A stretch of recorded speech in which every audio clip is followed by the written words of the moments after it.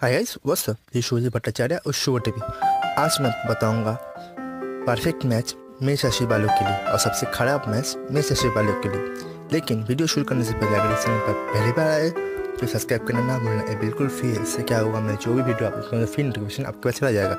और like share comment करना ना भूलना। तो चलिए शुरू करते हैं।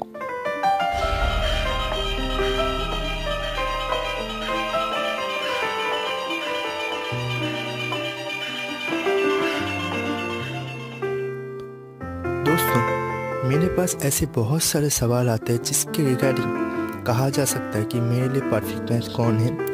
मैं इस राशि के जातक जातिका के साथ हूँ। क्या मेरे लिए इसके साथ कोई फ्यूचर हो सकता है? अगर देखा जाए तो लड़कों के लिए 21 साल और लड़कियों के लिए 18 साल। इसके बाद हमारा मैरिज लाइफ शुरू होता है। तो लाइफ के ज़्यादातर वक्त हम, हमारा लाइफ डिपेंड करता है मैरिट के लिए इसके कारण डी नाइन चार्ट को सबसे ज़्यादा इम्पोर्टेंट चार्ट कहा गया है, लग्न चार्ट के बाद। अगर एक परफेक्ट जोड़ी हम लोगों को मिल जाए तो हमारा लाइफ का आधा से ज़्यादा लाइफ बहुत इजी हो जाता है रहना और कामयाब होना। कहा जाता है कि एक कामयाब इंसान के पीछे कामयाब औरत का हाथ होता है। तो आजकल के ज़माने में भले ही हम लोग ज्योतिष शास्त्र को ना माने, लेकिन ज्योतिष शास्त्र हमारे साथ हमेशा रहता है। हम इसे डिनाई नहीं कर सकते। लाइफ में ऐसे बहुत सारे सवाल होते हैं जिसका जवाब हमें आसानी से नहीं मिल रहा लेकिन ज्योतिष शास्त्र के माध्यम से मिल जाता है। जैसे इस सवाल का जवाब, हमारे लिए परफेक्ट मैच पर अच्छे लड़के, अच्छे लड़की कौन होगा? तो आज मैं आपको बताऊँगा एरिस राशि वालों के लिए कौन सबसे अच्छा मैच होगा, सबसे खराब मैच होगा? सबसे पहले नंबर पर आता है। दोस्तों, मैंने राशि के ऊपर ऑलरेडी वीडियो बना चुका हूँ, आप लोग आई बटन पर क्लिक करके देख सकते हैं। मेष राशि की खास क्वालिटी क्या होती है आप में? आप में खास क्वालिटी होती है, आप लोगों के अंदर अलग एंटिटी रहता है, आप लोग फुर्तीले होते हैं, आप लोग साहसी होते हैं। एक खास क्वालिटी आप आप लोग अपने आप को देख सकते हैं। आपके लिए सबसे खराब मैच कहा गया है टॉरिस को मतलब शव राशि को। ये राशि आपसे, आपकी थिंकिंग के बहुत ज़्यादा अलग प्रैक्टिकल थिंकिंग रखता है, अलग एंट्री रखता है अपने एक अलग स्वतंत्र विचार रखते जिसके कारण आपके विचारों के साथ इन लोगों के विचार नहीं मिलते, जिसके कारण बहुत ज़्यादा संघर्ष हो सकता है। आप लोग इनके साथ किसी टाइप की रेशियो आप लोग नहीं रख सकते कि बहुत ही ख़राब मैच है आप लोगों के लिए। आप लोग इनके साथ दूरी बनाए रखना आप लोगों के लिए बहुत बढ़िया होगा। इसके बाद आते हैं आप दूसरे नंबर पर।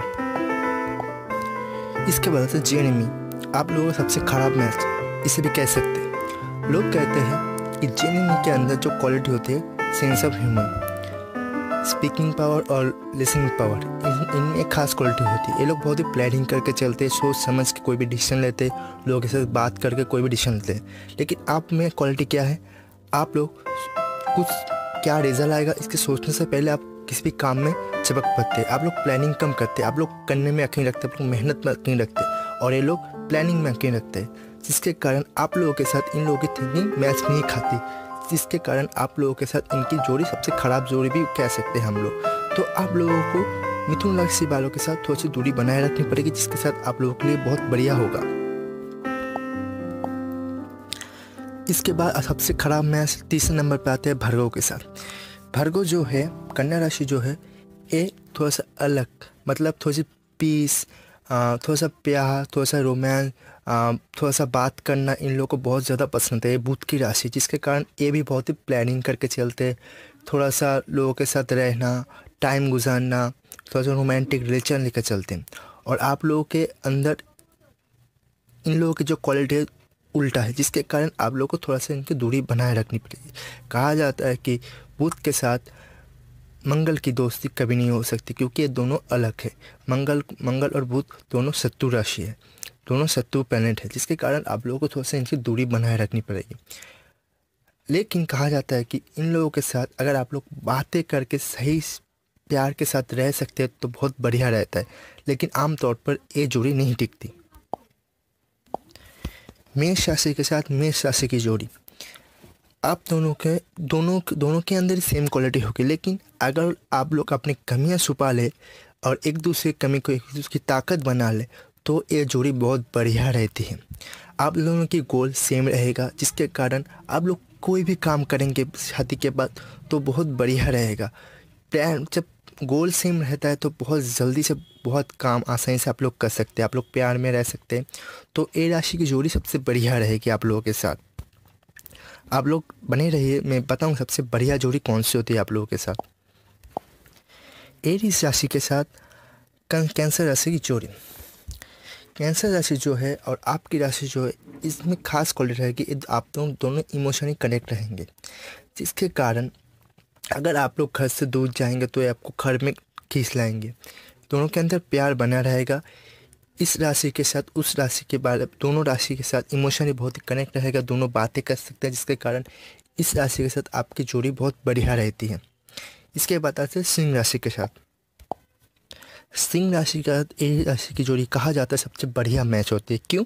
क्योंकि आप लोग दोनों फायर को रिप्रेसिव करते हैं, दोनों ही आग की राशि है, जिसके कारण आप लोगों का प्यार जलने लगता है। मतलब प्यार जलने में प्यार उभरने लगता है।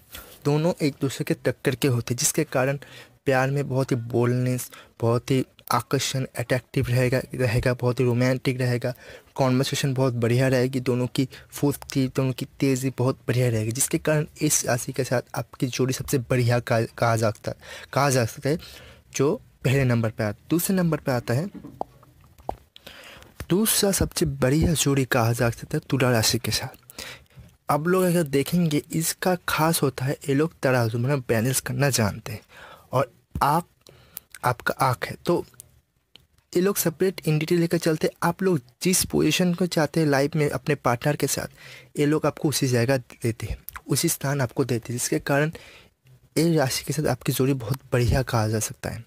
आप लोग इमोशनली कनेक्ट रहेंगे, अपनी बातें शेयर करेंगे, प्यार शेयर प्यार बढ़ेगा इससे।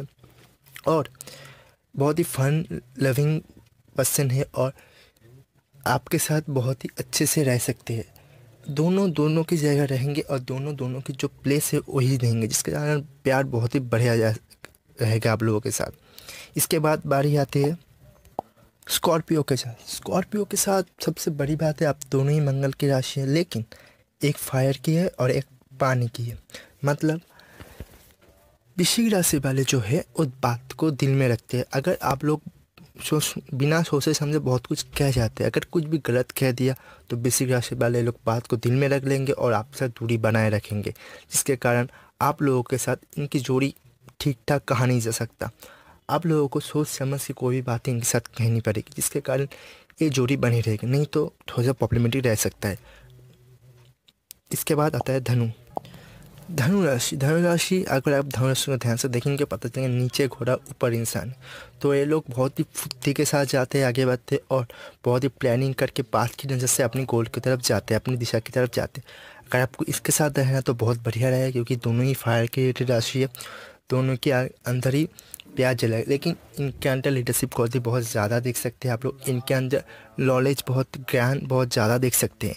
अगर आप लोग थोड़ा सा इधर उधर की बातें करके रह सकते हैं तो बहुत परफेक्ट मैच कहा जा सकता है बिकॉज़ दोनों ही फायर रिलेटेड राशि है दोनों के अंदर फुर्ती लीडरशिप क्वालिटी बहुत ज़्यादा है तो दोनों के अंदर सेपरेट एंटिटी है। अगर आप लोग बातें करके रहेंगे तो बहुत बढ़िया रहता है ये राशि के साथ आपकी जोड़ी। ये राशि के साथ आपकी जोड़ी तीसरे नंबर पर आते हैं परफेक्ट मैच के। मकर के साथ जोड़ी। मकर शनिदेव की राशि है, जिसके कारण थोड़ा सा ये लोग बहुत ही मेहनत की राशि है। आप लोग भी बहुत ही मेहनत की राशि है। लेकिन होने के बाद भी आप दोनों के अंदर कुछ कमी रह जाएगी, जिसके कारण ये परफेक्ट लव मैच नहीं कहा सकता। आप लोग सभी एक साथ करेंगे लेकिन आखिर में कुछ कमी रह जाएगी, जिसके कारण ये परफेक्ट मैच नहीं है। तो आपके साथ थोड़ा सा दूरी बनाए रखनी पड़ेगी। इसके बाद आता है कुंभ राशि। कुंभ राशि भी शनि की राशि है। ये लोग इंसानियत को इंसानियत को बहुत ज़्यादा महत्वपूर्ण देते हैं। अगर इन लोगों के पास इमोशन और काम आए तो ये लोग काम की तरफ़ ध्यान देंगे। लेकिन आप लोग अगर इमोशन काम है, आप लोग इमोशन की तरफ़ ध्यान देंगे। जिसके कारण थोड़ी सी कमी बनी रहेगी, लेकिन ए राशि के साथ आपकी परफेक्टनेस कहा जा सकता है, क्योंकि आखिर में एक साथ ही रहेंगे आप दोनों, क्योंकि आप दोनों ही मेहनत की राशि है। इसके बाद आते कुंभ एरिस राशि के साथ मीन राशि की जोड़ी। ए पानी की राशि है।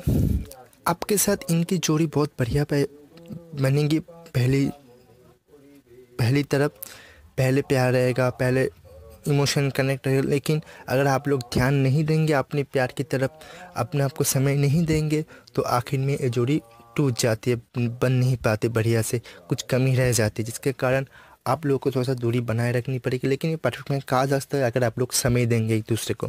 क्योंकि मेन राशि खास क्वालिटी ये लोग मैनेजमेंट करना जानते हैं मैनेज करना जानते हैं, थोड़ा सेक्रीफाइस भी कर सकते हैं, इनके अंदर ज्ञान बहुत ज़्यादा होता है, जिसके कारण लीडरशिप क्वालिटी हुए भी है, जो आपके साथ बहुत बढ़िया रहेगी। दोस्तों, मेरा वीडियो यहीं था। अगर वीडियो पसंद आए तो लाइक शेयर कमेंट करना आप भूलना, ये बिल्कुल फ्री है। और आप लोग मुझे फेसबुक यूट्यूब इंस्टाग्राम और ट्विटर पर भी फॉलो कर सकते और वेबसाइट भी फॉलो कर सकते हैं, नीचे लिंक दे दे, आप लोग जाकर देख सकते हैं, वीडियो देखने के लिए बहुत बहुत शुक्रिया।